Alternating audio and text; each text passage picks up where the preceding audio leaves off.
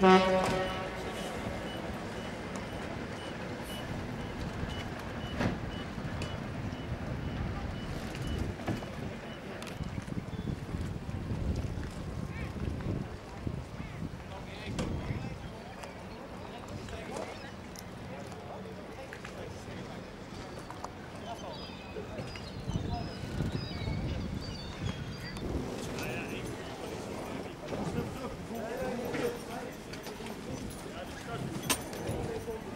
was het?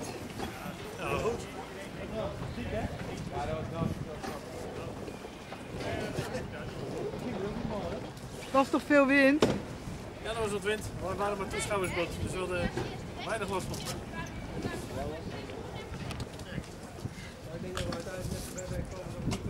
Nog verder?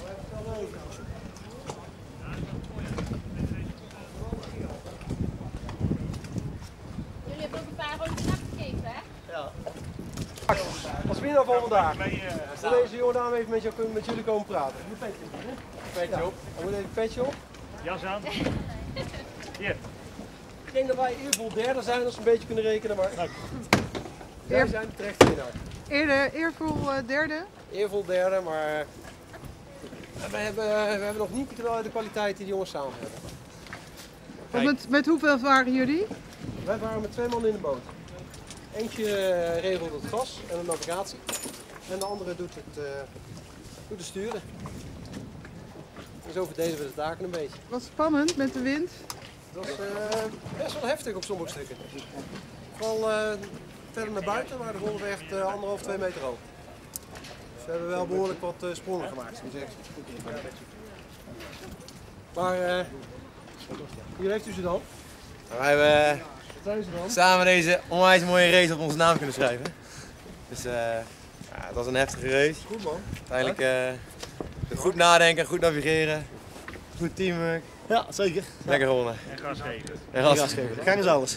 Ja, ja. Ja, super. Dat was wel een tricky. We hebben vrij, vrij hoge golf ook. Vooral, vooral de tweede race. De eerste heat ging het nog wel. De tweede heat was wel een stuk, eh, een stuk ruiger. Maar ging, ging perfect. Eerst eh, weglopen, kopje erbij houden, uitvaren. Ja, super goed gedaan. Ik ben super trots op.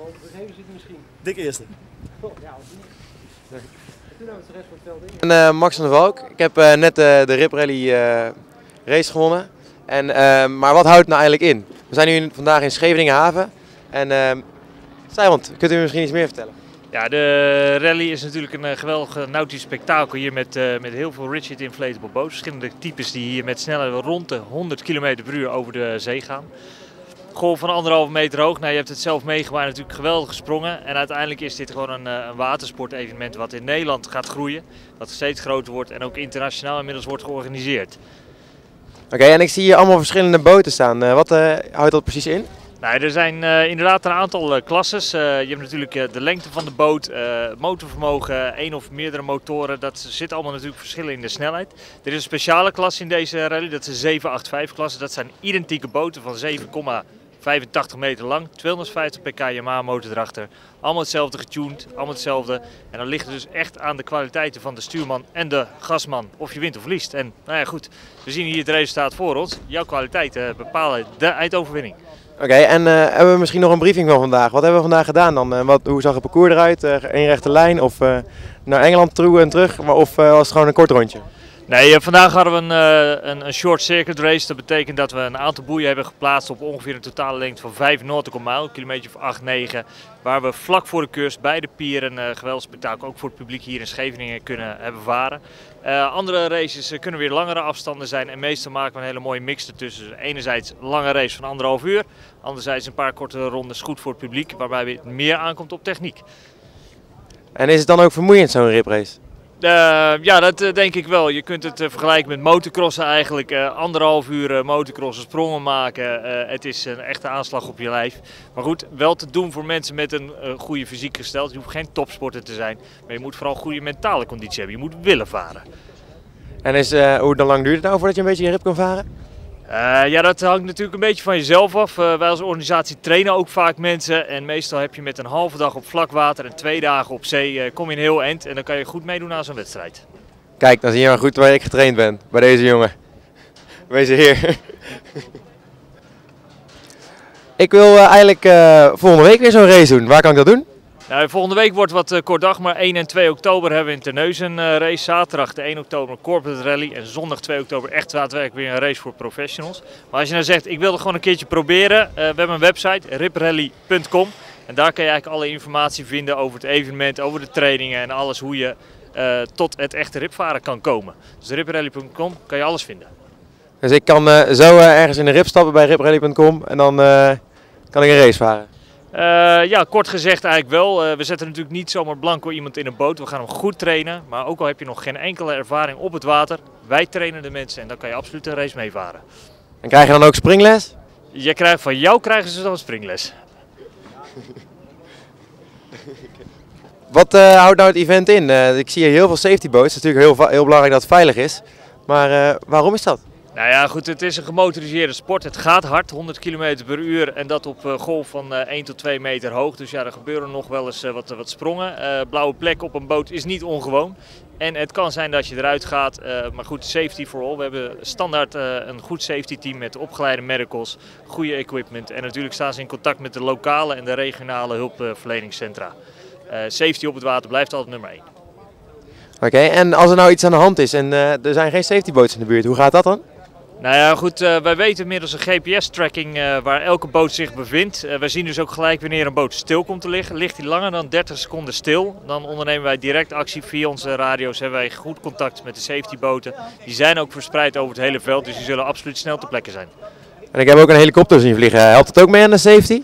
Uh, ja, absoluut. Uh, de helikopter is uh, natuurlijk voor media en voor safety doeleinden. Die heeft een heel goed overzicht over het veld. En je ziet gelijk als er wat is gebeurd. mocht er wat zijn, kan die coördinator doorgeven aan de jongens op het water. Zodoende dat de hulpverlening heel snel op gang gaat komen. Goed, weet, safety is een belangrijk issue. En alles waar je met tijd kan besparen. En dat bespaar je eigenlijk voornamelijk met goede en snelle communicatie. Oké, en um, ik zie jullie met allemaal grote koffers. Uh, gebeuren er zoveel ongelukken dan? Uh, nou, gelukkig valt het wel mee bij uh, de meeste powerboat races of rip rallies. het is wel zo dat op het moment dat twee boten elkaar crashen, heb je wel vier slachtoffers in het water. Minstens, zeg maar. En dat betekent ook dat gebeurt met een enorme kracht. Dat het nog wel eens voorkomt dat mensen met wervelletsel in het water liggen. En daar ja, hebben we goede medische kits voor nodig, speciale brancards, speciale uh, uitrusting om uh, uh, ja, zo'n patiënt al in het water te stabiliseren, zo snel mogelijk aan boord te nemen en dan veilig af te leveren aan de wal waar de ambulance dienst wacht. Dus vandaar ook meerdere mensen, om eh, meerdere mensen uit het water te helpen. Ja, dus je hebt eh, per boot, per safety boot heb je vier redders, zeg maar. eh, dus, eh, waaronder de medic en, eh, eh, en weet, zeg maar, twee zwemmers en, eh, en een duiker. Dat is per boot. Oké, en eh, gaat er nog een training aan vooraf voordat u eh, zo wordt als u? Eh, wij, sorry, er werd even mijn oortje gepraat. Zeg maar, wij trainen hier van tevoren. Dat doen we onder het andere weten, zeg maar, binnen onze eigen organisatie Stichting Medical Rescue. Maar ook binnen Rescue 3. Dat zijn specialisten op het gebied van waterredding. En eh, slachtofferhulp bij mensen die in het water liggen.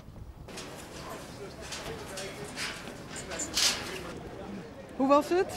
Ja, een mooie dag, eh, goede golven. Helaas heeft onze boot het begeven tijdens het gevecht om de eerste plaats. En eh, hebben we onze concurrenten de overwinning kunnen meenemen. Maar verder is een mooie dag. Jullie hadden anders gewonnen. Ja, die kans had er dik ingezeten. Ik kan altijd afwachten, maar het zag er wel goed uit. Ja, helaas eh, we niet zo mogen zijn. En hoe kan het dat die boot kapot ging dan? Ja, het is een eh, waterslag. Er komt er water in de motor en eigenlijk is meteen de motor eh, afgeschreven. Er komt water in de cilinder en is het klaar.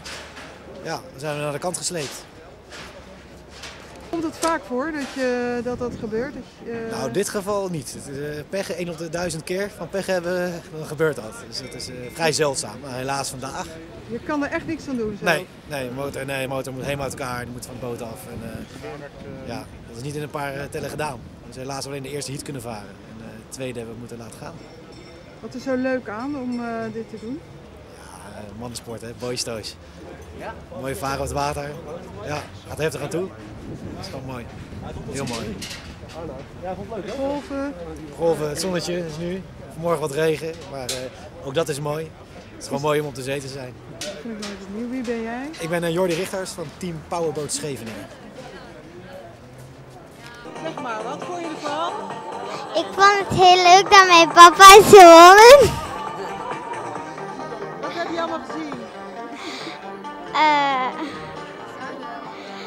Stel maar. eh, ik vond het ook heel spannend, want eerst ehm, hadden mijn papa heel tijd anderen in, maar toen ehm, begonnen er anderen te komen en ze stoken heel tijd elkaar voor en toen wist ik niet meer waar dan mijn papa zat en al. Het was zo het wel spannend, want het was wel zo redelijk halve, want het was eerst de wind en toen was het langs de andere kant. Maar het was ook nog heel redelijk wat grote golven.